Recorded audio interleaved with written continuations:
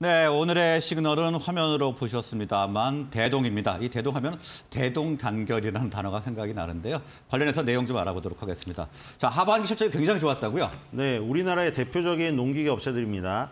동양물산이라고 해- 표현이 되었던 동양물산이었는데 이름을 멋있게 TYM으로 바꿨죠. 그 TYM이 2위고요. 지금 대동, 대동공업이 이제 대동으로 지주회사로 바뀌었죠. 대동하고 TYM, TYM 입에 붙지 않는데 동양물산으로 할게요. 대동공업하고 동양물산 옛날 이름이지 옛날 이름들이 좋은데 좀 너무 세련되게 바꾸려는 감이 없지 않습니다. 근데 뭐 세련되게 바꾸려는 그 이유가 아무래도 사업 내용이 바뀌었으니까. 사람들도 간판만 바꾸면은 인정을 안 해줍니다 요즘에는. 간판을 세련되게 바꿨는데 안에는 거미줄이 쳐져 있습니다. 그러면은 바로 리뷰 올라오거든요 요즘에는. 맛집 리뷰에. 그래서 안 되고요. 실제적으로 바뀌는 모습이 간판이나 사명 바꾸는 거랑 일치했을 때 주가의 긍정적인 모양이 나옵니다. 대동은 그런 면에서 대동이라고 지주회사로 바꾸고 나서 변화가 굉장히 많이 일어나고 있기 때문에 긍정적인 모습을 보여주는 겁니다. 아까 말했듯이 지금 미국의 건설 경기를 대변하는 캐터필러라는 굴삭기 만드는 업체가 좋고요. 우리나라로 따지면 뭐 현대 두산 인프라코어라던가 두산 바켓이라던가 이런 기업이겠죠. 캐터필러의 주가가 역사상 신고가입니다. 그리고 디어도 역사상 신고가죠. 네. 미국의 농촌 경기라던가 미국의 지금 건설 경기는 좋다는 얘기예요. 대동 같은 경우에는 조금 농기계에 조금 더 그 관련이 되어 있죠. 진성 TEC는 아무래도 디어도 고객사긴 하지만 좀 건설 경기에 지금 국한이 되어, 연동이 되어 있고 이렇게 보시면 돼요. 대동이 hobby farmer 위주로 사실 많이 팔았습니다. hobby farmer는 취미로 농업을 즐기는 사람들인데 코로나 팬데믹 때 집에 있다 보니까 그런 hobby farmer들한테 트랙터나 이양기 조그만 것들을 팔았어요. 진짜 농업에 종사하시는 분들은 큰 거를 팔죠. 근데 지금 대동 같은 경우에는 작은 미니 사이즈 미니 사이즈로 해서 지금 굉장히 수혜를 받습니다. 근데 아까 보시다시피 만약에 그 디어가 지금 역사상의 신고가 간 이유를 보면은 그럼 만약에 하비파머로 그냥 팬데믹 때 그냥 끝났으면은 엔데믹으로 갔을 때 하비파머들은 취미로 농업을 하시는 분들이기 때문에 뭐 라스베가스를 놀러 갈 수도 있고요. 디즈니랜드를 놀러 갈 수도 있어요. 그럼 취미로 하던 농업은 제쳐두겠죠.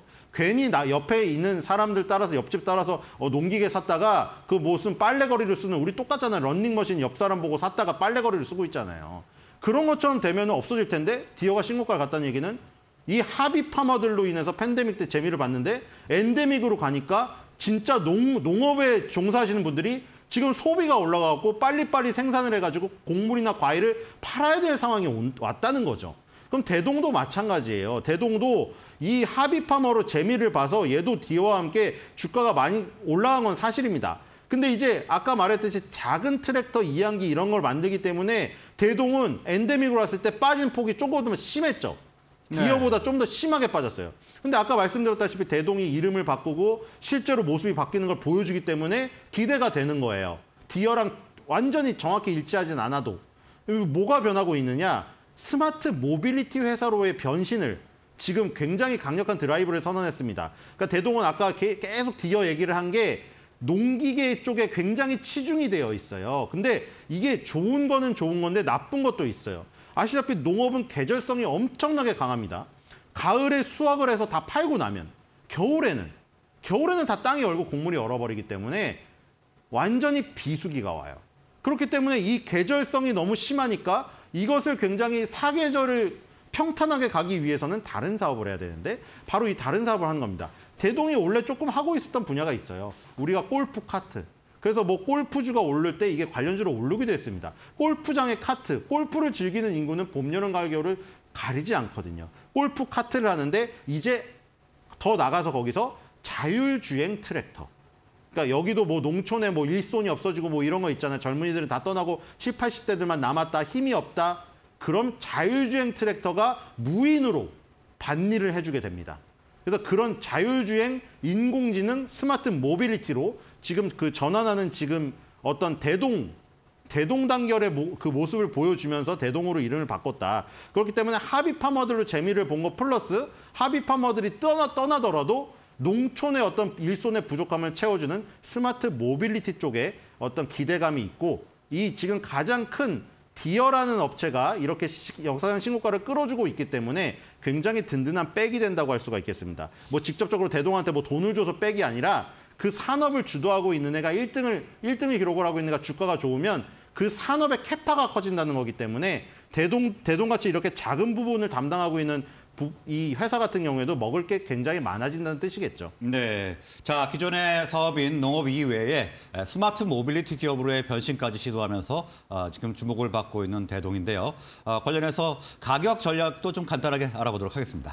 네, 대동도 마찬가지입니다. 대동 외국인 보유라고 주가랑 거의 일치율이 뭐 이거 제가 지금 인공지능이 아니기 때문에 계산 못하겠지만 거의 90% 일치하는 것 같아요. 외국인이 네. 사는 대로 파는 대로 주가는 너울을 칩니다. 근데 지금 보시면은 외국인이 집중적으로 매수를 들어오고 있거든요. 11월 달에. 그러면은 지금까지 그 흐름을 봤을 때 외국인의 흐름대로 갔다. 그럼 지금 주가가 이렇게 빠져 있을 때 외국인의 흐름대로 가면은 지금 주가가 다시 올라갈 가능성이 높다는 거죠. 그래서 지금 이렇게 너울 치면서 가고 있는데 21, 20개월 선에만 근접을 하면 반등하는 어떤 그 특성이 지금 보이고 있어요. 그렇기 때문에 당연히 2021년, 22년 초에 이렇게 이격이 벌어졌을 때, 20개월 선 이격이 벌어졌을 때 살 때보다 지금 20개월 선딱 붙어 있을 때 샀을 때가 굉장히 유리하겠죠. 네. 지금 제가 상상하는 모습은 이런 모습입니다. 지금 W자를 그리면서 W자를 이 끝에를 완성하는 이 모습. 요거를 먹, 먹자는 거죠. 요거를. 지금 W자가 요게 완성되면 W가 완성되잖아요. W 끄트머리를 먹자. 끄트머리는 어느 정도 가겠느냐?